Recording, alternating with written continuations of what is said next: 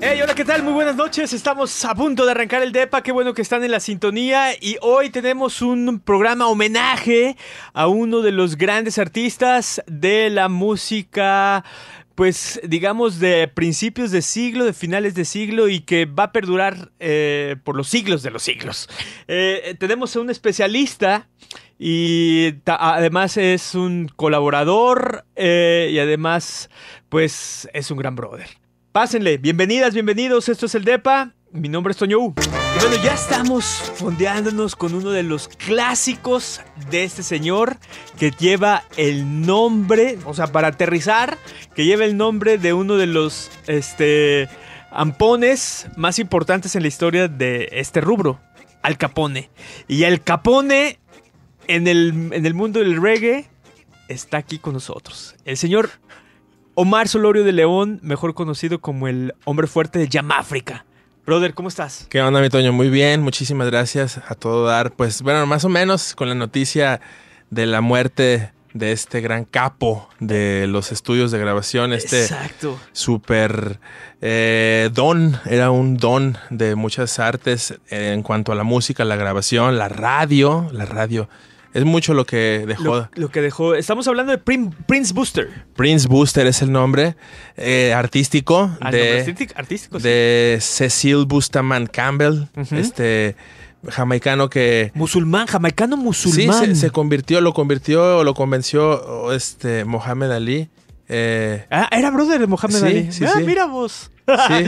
tiene, tiene hasta un tema que se llama Cassius Clay. Eh, que es em, homenajeando al campeón de peso pesado del mundo. Sí, sí, eran, eran amigos y, o sea, lo llegó a conocer pues y lo influyó para volverse musulmán, cosa que le costó la carrera casi.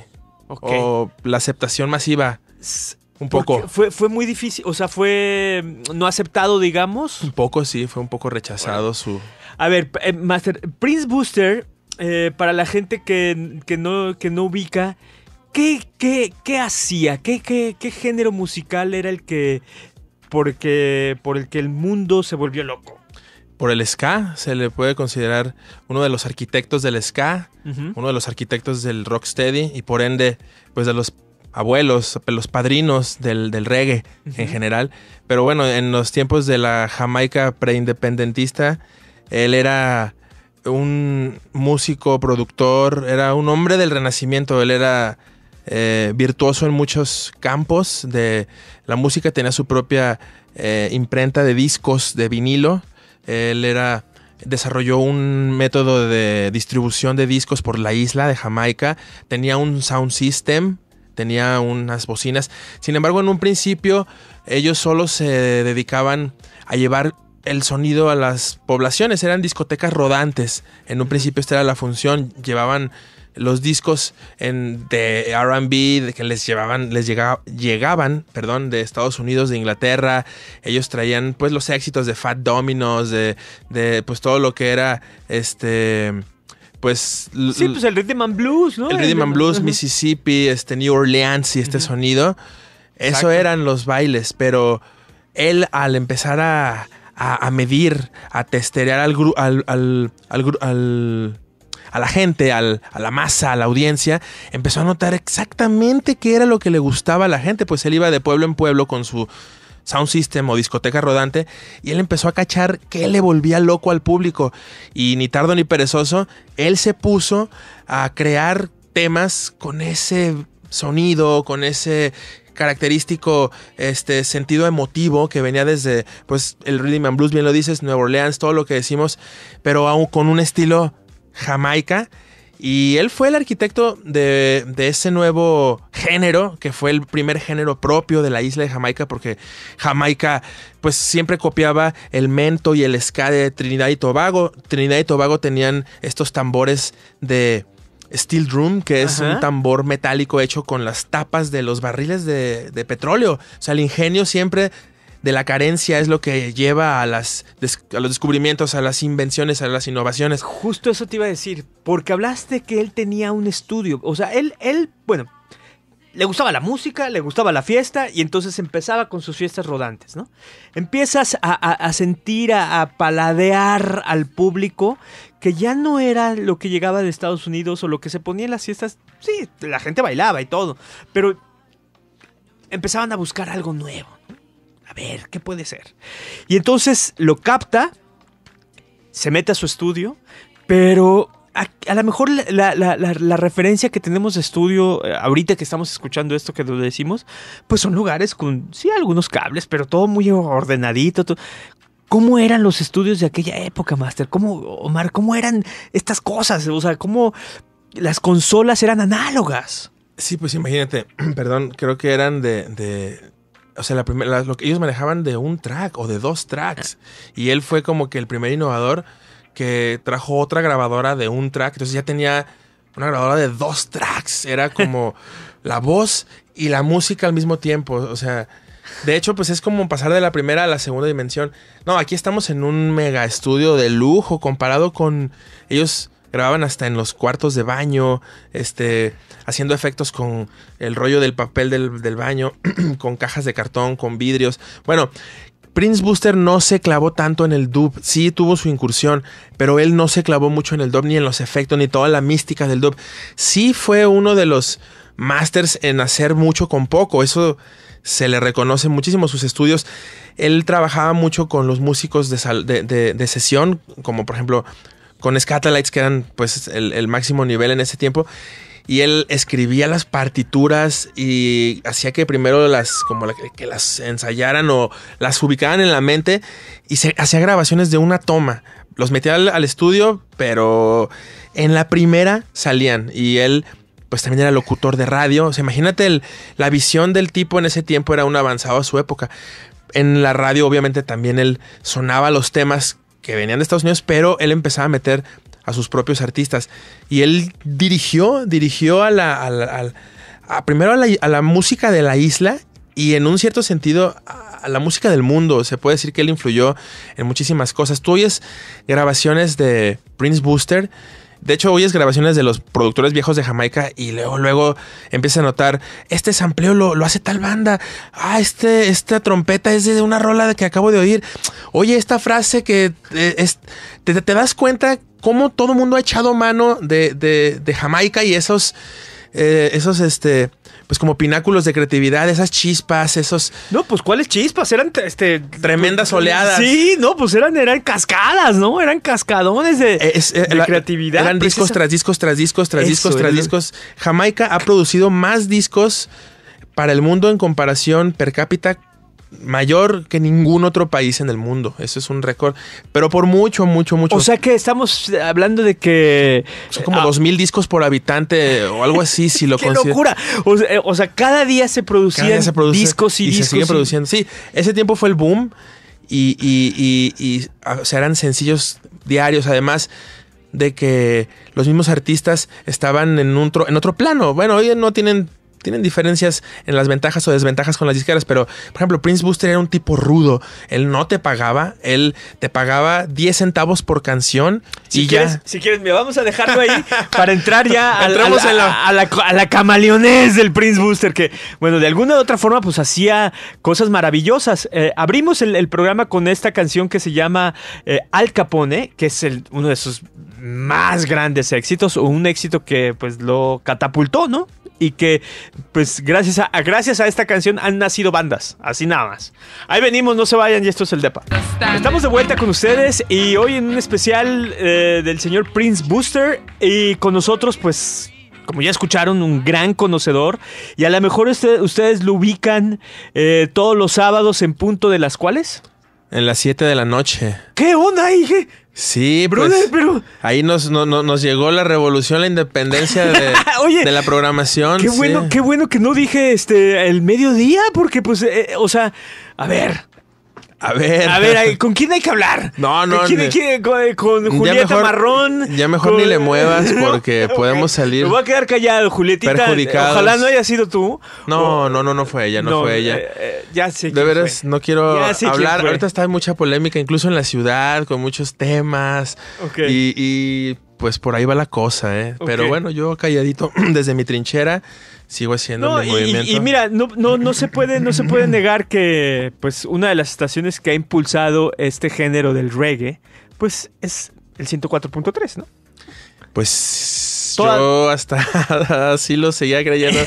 así lo quiero seguir creyendo. Bueno, ahí están todavía. Ahí estamos, sí, sí. Por eso, por eso sábado con sábado, este, hago esa labor con la pasión de siempre, porque no sé. Y además, bueno, independientemente de que, de que la tradición era de que, pues, al mediodía, a la hora que a lo mejor la gente hacía las labores del hogar o que estabas este, ahí en la chamba, pero acá agarra otro color, ¿no? Sí, me, a mí me encanta la hora, me gusta mucho más el mood, me gusta más... de hecho, el em, programa más importante del 91X, que de, la versión reggae, es en la noche. Es el sábado en la noche, claro, claro. ¿No? Entonces... pero, pero tú sabes que hay que construir la tribuna nuevamente.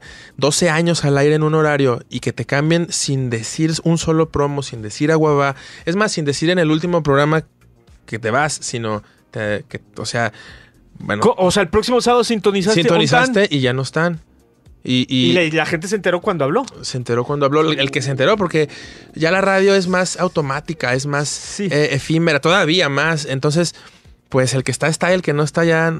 Ahorita estamos construyendo otra tribuna, nuevamente estamos llegándole nuevamente a la gente, estamos... Otro mercado también. A otro mercado. Es que sí, también ya, ya no estamos, pues, este así tan chavalones, ¿no? Yo me he dedicado más a la investigación, eh, me estoy haciendo ahorita eh, muy clavado de, los libros, estoy comprando libros eh, en inglés, obviamente, de la historia de Jamaica, del reggae. Estoy haciendo una traducción de una biografía de Bob Marley y pues ahí escarbando todo lo que es la historia, haciendo programas ya más en este, en este tenor informativos, pero que te dejen Ah, o sea, que sacando. Sí, no nada más decir, el Bob Marley tenía tantos hijos. Este, su esposa eh, era Rita Marley, bueno, la oficial. La, Rita oficial, pues era bien brava, ¿no? Y este, este es una, fue, una. No, no, no, Rita Marley eh, tiene mucha polémica. Si lo mencionas, lo mencionamos rapidísimo, ya hasta se puede eh, ver envuelta en polémicas respecto a la muerte de Bob Marley. Ella se vio, mira, se vio envuelta en un escándalo de tráfico de diamantes. Eso sí sabía. Eso ya lo habíamos dicho incluso una vez aquí. Bueno, escuché eh, en una investigación sobre que unas declaraciones, o sea, de hecho no es ni una investigación, son declaraciones de Bonnie Whaler, el último de los Whalers, que eran Peter, eh, Peter Tosh, Bonnie Whaler y, Bob Marley, los primeros tres Whalers originales que andaban de morros ahí en Trenchtown. Y el único que queda vivo es, es Bonnie Whaler. A Peter Tosh lo asesinaron, a Bob Marley se, se dice que murió de muerte de una enfermedad, pero en realidad Bonnie Whaler, porque ya está muy viejito, se aventó como el último testamento de George Harrison, pero versión en reggae. Oye, ¿y dónde vive, dónde vive? En Kingston, Jamaica, sí. Órale, órale, sí, salió hace poco. Este, pues él ya está muy, muy grande. O sea, no muy grande, pero ya se ve bastante traqueteado el señor. Y ya dice que lo, ya siente pasos, pues, como dicen por acá. Y habló. Dice que, que Rita Marley y Chris Blackwell están involucrados en el fallecimiento de la superestrella del reggae Bob Marley. Son declaraciones muy, muy, muy fuertes. Sí, declaraciones muy poderosas. Mundiales. Que, a lo mejor van a salir en algún momento cuando, cuando sea su momento va, a llegar y, van a salir y entonces, bueno.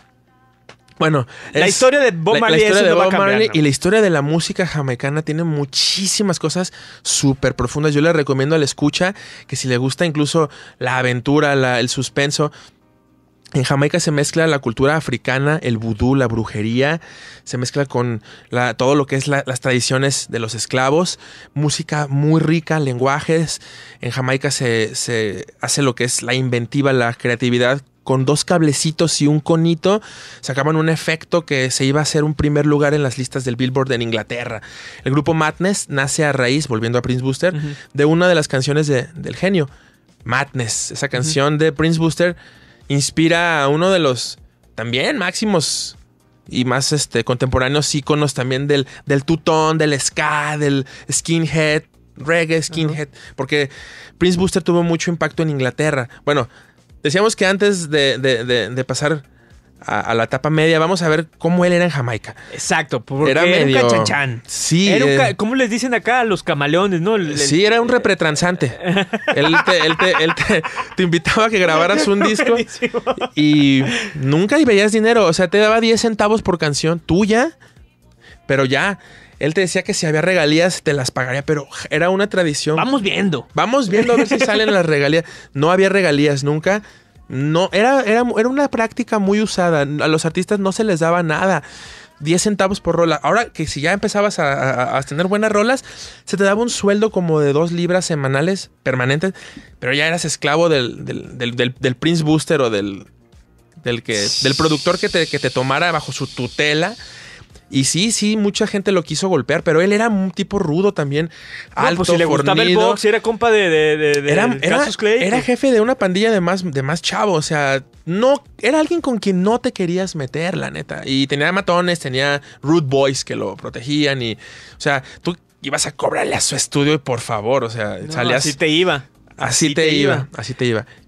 Entonces, bueno, eh, el lado positivo, él tenía esas prácticas. Él puede haber llegado aquí a Promomedios con sus batillos, con unos bats y, a ver, estos son discos de mis artistas y si no los ponen, vamos a hacerles unas visitas no muy amigables, pues. Y, Órale, era su, su, estilo de su payola.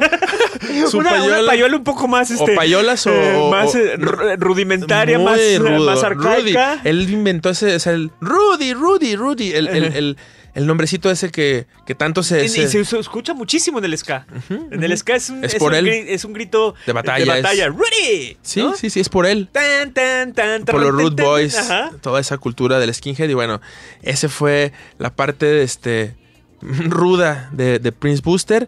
Pero sin embargo, bueno, él, él promovió muchísimos artistas, descubrió muchísimas joyas. O sea, a la buena o a la mala, él sacó muchas, este pues ahí piedras preciosas del, de la mina, del, del, del, hoyo profundo que podría haber sido lugares como Trenchtown, como este San Patricio, la Santa Ana, todas esas parcelas rurales.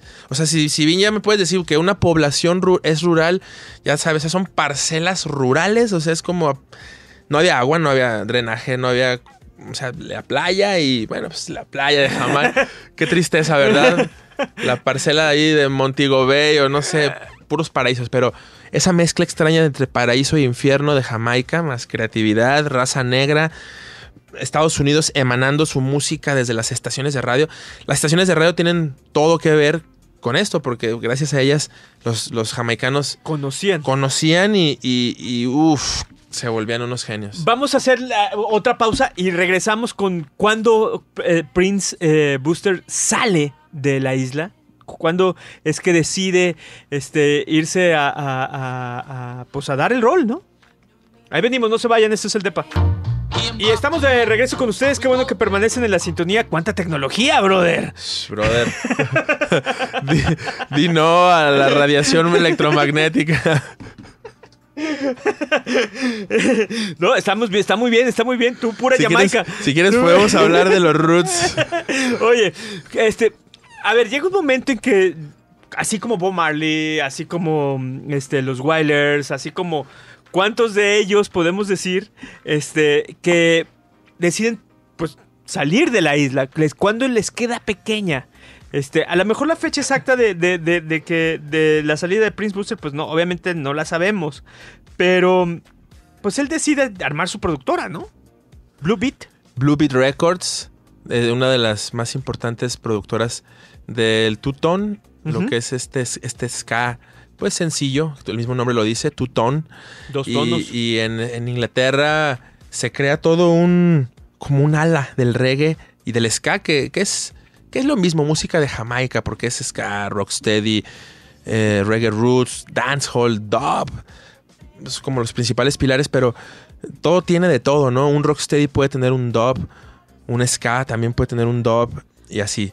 Entonces, lo que hace eh, es que es muy prolífico y él produce muchísimos discos para, para esta rama en Inglaterra y allá se genera eh, todo un movimiento cultural, ideológico, lo que es el skinhead reggae y pues disqueras como que Trojan. tenía que ver, perdón, este, con, la onda eh, nacionalista, este, eh, que, mm, fundamentalista pues de, todo esto porque o sea no vayan a creer que Prince Booster era un blanco jamaicano no era un negrazo un súper negrazo. Y además que se transforma, que se, que se cambia a, la religión musulmana. Sí, no, de hecho, eh, ellos no tenían pensado toda esta, todo esto, estas consecuencias.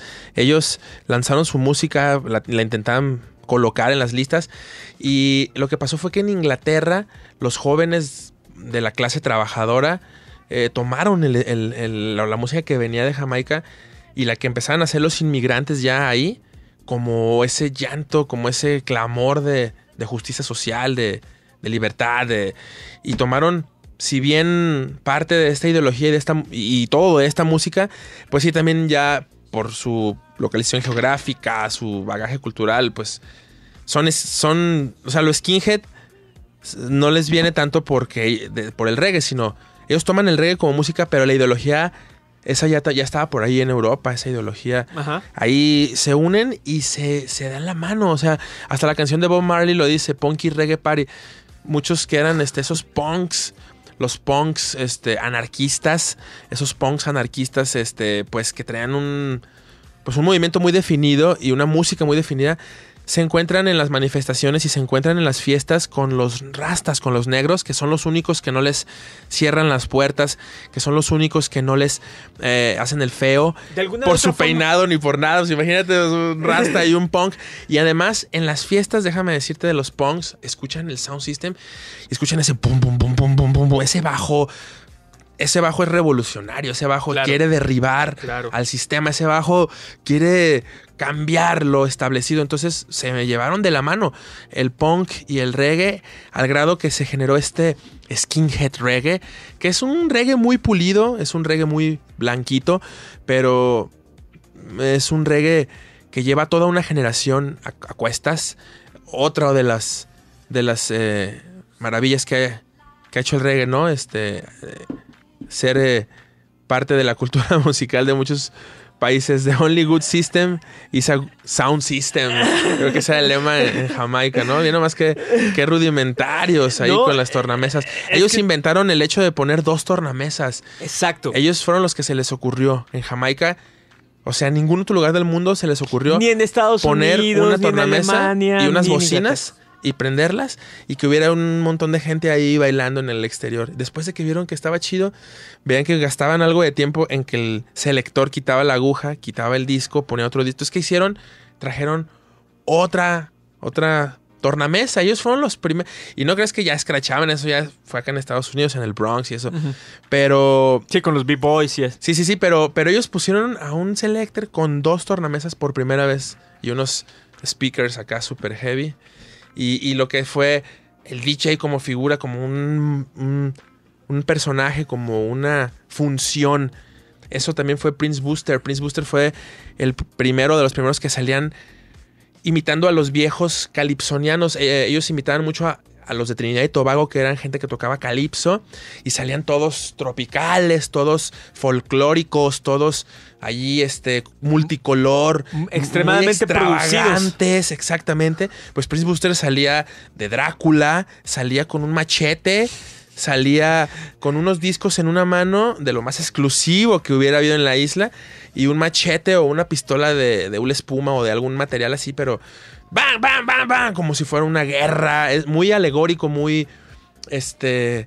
Showman. showman. Él yo creo que hasta inventó ese término de frontman o showman. Porque salía con coro. Bueno, eso ya más fue King Tubi. Pero también era un outfit muy peculiar. Caspa, caspa, este, perdón. Capas de Superman. Eh, este, vestidos de, de Roosevelt, de algún héroe así. Entonces la gente se volvía loca. La, cuestión era volver loco al público. Era un público muy rudo. entonces había clashes, que había peleas entre sound systems diferentes y pues bueno, Prince Booster el rey de todos. Oye, este, ah, nada más para complementar, antes de que nos íbamos a este, a este bloque, eh, decíamos que, bueno, pues qué fue, por qué salió de, la isla. Él, toda su carrera, o sea, la explosión hacia el mundo, eh, eh, la hacen en Inglaterra gracias a todo lo que dijo. Pero hay un dato muy interesante que Prince Booster nunca colocó un tema en primer lugar o cerca de los primeros lugares en Estados Unidos. ¿No? es, muy irónico ahí esta, onda. pero sí tuvo una gira en 1967 eh, devastadora, ¿no? Sí, sí es que Estados Unidos, hasta que entró Bob Marley a Estados Unidos, Bob Marley fue el que conquistó Estados Unidos, pero antes, imagínate, Jamaica era colonia británica ya, eran, es como España y México, eran, en España conocían muchísimo como algo curioso de los jamaicanos, que yo digo jamaicano porque pues, el término es jamaican en inglés, entonces nada más para hacerlo castellano agregas la O como mexicano. Será curioso decirle a un mexicano mexiquino, ¿no? ¿Tú eres mexiquino o mexiquina? Pero son recovecos del lenguaje, ¿no? Em, hablando de, de... Ay, se me fue el patín. Qué bueno, vamos a la pausa. Sirve que te pongo otro tequilita. Ahí venimos, no se vayan. Y estamos de vuelta con ustedes en el especial de Prince Booster. Que bueno, a, ver, hemos estado hablando en estos bloques, pero a lo mejor hay alguien que acaba de, de abordar o que tiene la mitad de, una pequeña contextualidad, contextualizada, este, mi buen Omar, eh, de este, de este pues, maravilloso artista que eh, dejó de existir el pasado 6 de septiembre. El jueves 8. Jueves 8. El jueves 8, jueves 8 de septiembre. Qué bueno que recuerdas hasta el día. Fallece. No, fue su. Pues sí, por. Nunca voy a olvidar la cantidad de fans que, sí, en internet se manifestó muchísimo y no me había dado cuenta que en Guadalajara había tanto movimiento. Pues es que les caes rifador en Guanato. Coleccionistas de viniles y, y, mucha gente que lo sigue. Entonces, bueno, estamos hablando de la muerte de un genio de la producción de audio, un genio de la radio, un genio de lo que es... Eh, Del marketing. El marketing. En la parte musical, porque no nada más fue productor, tuvo su tienda de discos, tuvo su, estación de radio, o sea, cerró el círculo completo. Este, Pocos hombres como él ya no ha habido. Exacto, ya. O sea, aparte creo que la industria ya no se puede ver así. Bueno, sí, no, ya no puede ser así, ya es totalmente diferente, pero él puede haber sido, yo creo que si la industria discográfica es ahora ya un Dubai, yo creo que Prince Booster, él llegó cuando era el puro terreno y empezó a, quitar las hierbas primero. Fue el, que, ni siquiera el que pavimentó, o sea, él fue el que abrió la brecha y bueno, fue, fue la muerte de un genio. En todo el mundo hubo muchísimas manifestaciones de muchos artistas y bueno, es bastante recomendable clavarse en los sonidos de este hombre, lo que lograba con sus, con sus estudios de grabación. Él mismo cantaba, él grabó a cientos y cientos de, músicos y bueno, es algo digno de pues de, echarle un oído, es, es, es una delicia. Aparte de que es una delicia, es interesante pues este saber por qué géneros musicales que mm, permanecen vivos y que han estado evolucionando y que por ejemplo hace unos este pues bueno, hace unos días, hace un tiempo, a lo mejor tú escuchaste y dijiste, "Oye, qué buena esta rola de Madness", ¿no? Bueno, pues gracias a este hombre, siempre es, padre recordar y tener esta referencia de dónde vienen las cosas. Claro, claro, porque puedes tener un criterio muy cerrado si no alimentas con una mayor cantidad de centímetros, como dicen los, ingleses, tu foto, de big picture. Tu big picture es solamente de tu grupo favorito pues no vas a disfrutar tanto. Vaya, la música es un goce, un, placer, un feeling y pues altamente recomendable conocer todos los sabores posibles.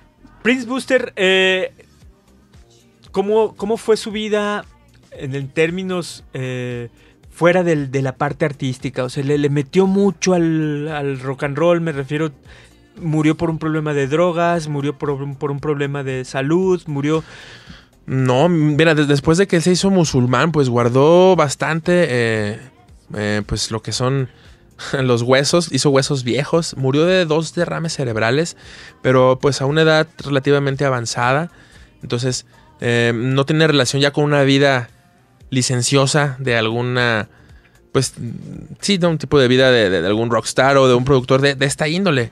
No, pues él ya estaba tranquilo, estaba ya pues imagínate, pues hoy escuchas la música y, ya te puedes imaginar más o menos eh, el talante de su espíritu, ¿no? Murió tranquilo, bueno, no sé si murió tranquilo, ¿no? ¿Qué traería en su mente, en su corazón, en su alma? ¿Con cuántos habrá Pero bueno, no, no, fue un accidente, no, no, no, no fue algo que lo tuvo sufriendo mucho tiempo, no. Oye, Mar, ¿tú crees que el, eh, eh, pues, obviamente tras las semanas y todo eso, pero ¿crees que el, mundo de la música a unos años eh, les siga haciendo homenaje como por ejemplo se, les, se le va a hacer al David Bowie, se le va a hacer a Prince, se le sigue haciendo a Freddie Mercury, este... ¿Tú crees que eh, así el mundo de la música eh, lo recuerde, lo, lo, tenga entre estos este, artistas que, bueno, pues que ya no están? Mm, quizá no. Bueno, ¿por qué lo crees? No a ese nivel. No quiero meterme mucho en polémicas, pero por lo mismo de sus creencias religiosas. No, no quiero hablar tanto, pero eso influye mucho en si te recuerdan o no. Al final de cuentas, la industria discográfica y todo este show a nivel mainstream, pues. Ajá. Ajá. eh, cada quien tiene que hacer su investigación. Yo creo que él no, no, no fue tan del agrado de, de la elite, pues, o de, o de, de quien dicta quién se recuerda y quién se olvida. Siento que quizás hasta molestó que se hiciera musulmán, pues, porque de tener un apoyo mundial, de ser, quizá una, de- fue una leyenda en vida, de hecho. Después eh, sufre, sufrió lo que sufren muchos artistas actuales de Jamaica, que están sin dinero. Es un, es un fenómeno actual, déjame rapidísimo te cuento Sí, esto. no, dale, dale, dale. Se están vendiendo discos ahorita en, en- en- en internet por miles y decenas de miles de dólares. Discos que el mismo, o sea, los discos de Prince Booster, los discos de, de Los Wilders. los Wailers, gente que, que, pero por ejemplo los ca- cantantes que, que- que están muriendo de, de pobres y de hambre, han muerto algunos de, de pobres cantantes cuyos discos se venden en subastas en decenas de miles de dólares. Es irónico, irónico, Pero ahí irónico. Hasta hay fans que están haciendo una asociación para el rescate de la música jamaicana, pero literalmente están recopilando dinero porque la industria es feroz, pues, o sea, ellos pueden ser los autores, pueden ser los X, Y, Z, dueños de incluso de los derechos, pero ya no es cuestión de legalidad, es cuestión de, pues ahora sí, coleccionistas, colección de arte, el que tenga tal obra, el que pueda pujar más por ella. Es como, hay mucha gente furiosa porque gente que se está muriendo de hambre en Jamaica, que son grandes artistas cantantes que en su momento fueron leyendas, no tienen ni para comer y ahorita se están subastando discos. El caso, hay un caso de, de esto, de este señor que, que- que sacaron literalmente de un baldío, ¿no? Y que le dijeron, Master, o sea, ¿qué haces en ese baldío? Vamos a, a que hagas una gira. Y, y el hombre, pues, gracias a esa gira, gracias a esta producción. ¿De, de Jamaica o, o de otro país? ¿De Cuba? ¿No fue...? Pues creo que fue de Jamaica. Eh, pero bueno, Es que a muchos les ha pasado esto. No tanto de un baldío, pero... sí, no, fue, fue un Recuerda, decir, por pues. ejemplo, un caso de en otra isla, ¿no? Este, en Buenavista Social Club. Exacto. Cuando fueron y, oye, ¿cómo puede ser posible que vivas en esta posilga? Bueno, no, no han tenido tanta suerte en Jamaica, así les ha pasado, y yo creo que no es fortuito, o sea, ahí, ahí ahora sí que no sé a quién hay que agradarle, pero pues la industria te cobija o te olvida, y Prince Booster, siento yo que le falta, para mí es a un nivel legendario, ese, ese máster pudiera estar encabezando el, el Salón de la Fama, él Claro. inventó la industria casi Claro, casi, claro. pero quizá era muy rebelde. y no le de piedra en el zapato para muchos. Omar Solorio de León, se nos acabó el tiempo. Rapidísimo, así ¿no? vuela, así vuela. Eh, Tú, tú lo sabes. ¿Sí te presentas así en el Yamáfrica? Mm, no, me presento Omar de León por Omar de aquello León, de del reggae. de- se queda mucho, pues es mi apellido. Ajá. Y pues queda con el reggae y siempre. Oye, pues escúchenlo este próximo sábado a partir de las 7 de la noche, 104.3, un programa de reggae que además de no nada más es este el cotorreo sabrosón de la música, sino que te vas a llevar algo interesante, porque pues como ya la está dando este giro más de investigación, un programa que, que deje más. Sí, porque ya vienen las nuevas generaciones. Ya están, no, no ya vienen, ya están. Ya- ya hay muchas otras opciones. Incluso en la misma estación hay otro programa los domingos. Sin embargo, yo ya quiero como. Ya mejor. O sea, pues sí, si me oyen, que se me oigan los años, pero que se queden con algo interesante. Bien. Bueno, chicos, pues muchísimas gracias. Eh, nos escuchamos en otra ocasión y Omar, Gracias. Placerazo escucharte. Gracias a toda la gente aquí Este- en Promomedios, aquí en También tuviste aquí unos que veres, ¿no? 91.5. Aquí también estuvimos haciendo un programa de ¿Cómo se llamaba? Se llamaba Trópicos 91.5. ¡Ande! Todas las frecuencias del reggae en tus oídos. Exacto, exacto. Sí, sí, aquí anduvimos también. Que bueno, pues este se transmitía los sábados, Los sábados a la mediodía. ¿no? De ahí fue, gracias a que estuve aquí, gracias también a ti que nos invitaste en aquellos ayeres hace más de 13, 14 años. Oh, perdón. Bueno, ahí este, nos invitaste y de ahí fue que brincamos a Radio Universidad. Pero sí, aquí estuvimos con mucho gusto. Chidísimo, pues muchísimas gracias. Gracias. Cuídense mucho, hasta la próxima. Bye.